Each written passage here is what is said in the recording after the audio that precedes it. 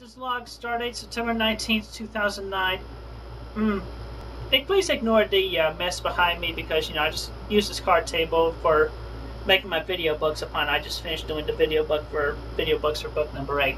Anyway, uh, I'm making this video to let everybody know that this uh, account, YouTube account user, uh, one word Chris W. Chandler, he's a fake, he's an imposter. Do not believe him and his imposterous imitation merchandise, quote unquote merchandise. It's all slipshod and fake. Do not buy into them, okay?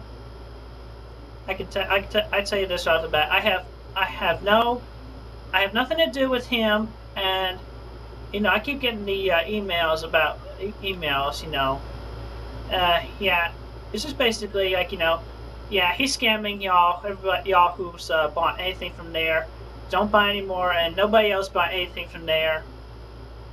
That guy is an imposter. He's a scammer. He's a fraud. So just don't buy into him any, anymore.